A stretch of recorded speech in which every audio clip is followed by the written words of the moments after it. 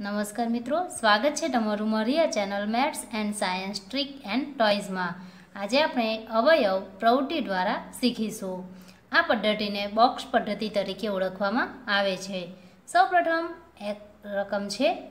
એક્સનો વર્ગ વત્તા ચાર એક્સ વત્તા ચાર. હવે સૌપ્રથમ આપણે પ્રથમ બોક્સમાં લખીશું એક્સનો વર્ગ, પ્રથમ પદ. અને ચોથા બોક્સમાં લખીશું અંતિમ પદ. હવે આ વચ્ચેના પદ બે ભાગ કરીશું. એ ભાગ એ રીતે કરીશું, આ બે પ્રથમ અહીં સહગુણક કોઈ સંખ્યા નથી. માટે આપણે સહગુણક તરીકે એક લઈશું. એક ગુણ્યા ચાર, બરાબર? ચાર. હવે આપણે આ ચારના એવા અવયવ પાડીશું જેથી તેનો સરવાળો પણ ચાર જ બને. તો અહીં અવયવ બનશે. એક ગુણ્યા ચાર બરાબર ચાર, બે ગુણ્યા બે બરાબર ચાર. બે વત્તા બે બરાબર ચાર. માટે આપણે આ એક ખાનામાં લખીશું બે એક્સ અને અહીં પણ લખીશું બે એક્સ. હવે આ બંને ખાનામાં સામાન્ય હોય તેવો અવયવ શોધીશું. તો અહીં એક્સ સામાન્ય છે. એ જ રીતે આમાં સામાન્ય હોય તેવો અવયવ છે બે. ધન બે. એ જ રીતે આ બંનેમાં સામાન્ય હોય તેવો અવયવ છે એક્સ. અને અહીં બંનેમાં સામાન્ય હોય તેવો અવયવ છે બે. એ પણ ધન છે. માટે જવાબ આવશે એક્સ વત્તા બે. બીજા કૌંસમાં એક્સ વત્તા બે. હવે બીજું ઉદાહરણ જોઈએ. અહીં એક્સનો વર્ગ વત્તા છ એક્સ વત્તા આઠ. સૌપ્રથમ આપણે પ્રથમ ખાનામાં લખીશું એક્સનો વર્ગ, પ્રથમ પદ. છેલ્લા ખાનામાં લખીશું અંતિમ પદ. હવે આઠ અને અહીં સહગુણક તરીકે એક આવશે, માટે ગુણાકાર થશે આઠ ગુણ્યા એક બરાબર આઠ. માટે આપણે આઠના એવા અવયવ પાડવાના જેનો સરવાળો કે બાદબાકી છ થાય. માટે બે ગુણ્યા ચાર, બરાબર આઠ. અહીં આપણે જોઈએ તો સરવાળો બે વત્તા ચાર, બરાબર છ થાય છે. માટે આપણે એક બોક્સમાં લખીશું ચાર એક્સ અને બીજા બોક્સમાં લખીશું બે એક્સ. હવે સામાન્ય કાઢીએ તો સામાન્ય અહીં એક્સ આવશે એ જ રીતે અહીં સામાન્ય અવયવ ધન ચાર આવશે. અહીં સામાન્ય અવયવ એક્સ.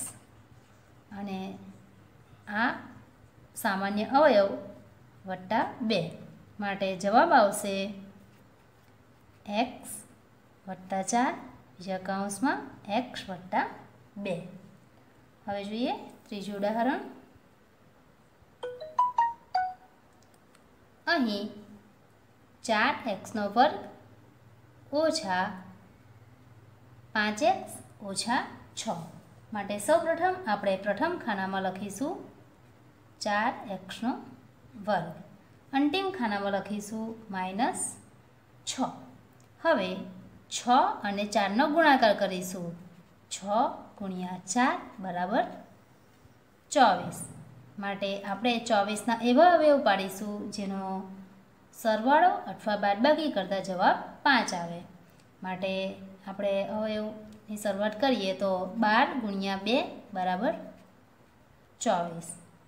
એ જ રીતે આઠ ગુણ્યા ત્રણ બરાબર ચોવીસ.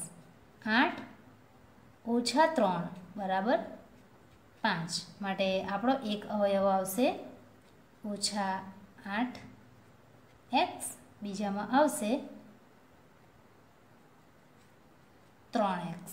અહીં આઠને આપણે ઋણ નિશાની આપીશું અને ત્રણને ધન નિશાની આપીશું કારણ કે આઠ એ મોટી સંખ્યા છે અને અહીં પાંચની આગળ ઋણની નિશાની છે. હવે અહીંથી સામાન્ય અવયવ જોઈએ આ રીત લાઈનમાં તો સામાન્ય અવયવ થશે એક્સ, અહીં સામાન્ય અવયવ થશે માઇનસ બે. એ જ રીતે અહીં સામાન્ય અવયવ થશે ચાર એક્સ, અહીં સામાન્ય અવયવ થશે ત્રણ. માટે જવાબ આવશે એક કૌંસમાં એક્સ માઇનસ ટુ, બીજા કૌંસમાં ચાર એક્સ વત્તા ત્રણ. હવે જોઈએ ચોથું ઉદાહરણ. સૌ પ્રથમ છ એક્સનો વર્ગ ઓછા અઠ્ઠાવીસ એક્સ ઓછા બત્રીસ. માટે પ્રથમ ખાનામાં આપણે છ એક્સનો વર્ગ લખીશું. અંતિમ ખાનામાં માઇનસ બત્રીસ લખીશું. હવે બત્રીસ ગુણ્યા છનો ગુણાકાર કરીશું.